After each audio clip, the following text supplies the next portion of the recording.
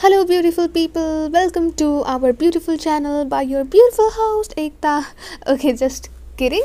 And here to know how to recover deleted videos from Android phone. Yes, this is the video. So let's get started without any further ado.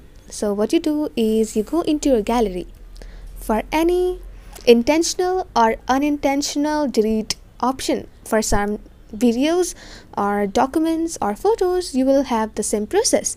So yes let's get started. First go into your okay this the kind of effort like all the videos.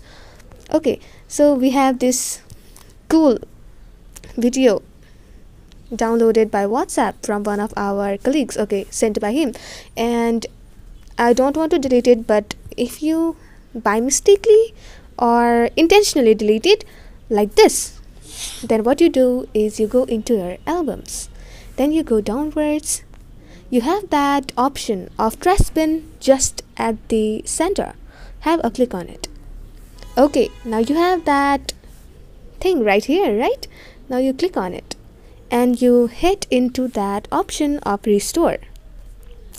So yes the one thing you need to be careful is the items that can be stored here for up to 30 days only okay? For free free free. So yes you can only recover it if you have uh, deleted it like maybe just 30 days or in between.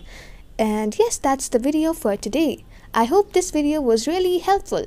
And if it was then please make sure to hit like. And to learn how to hide apps on Android please click the video on screen. Till then keep learning keep exploring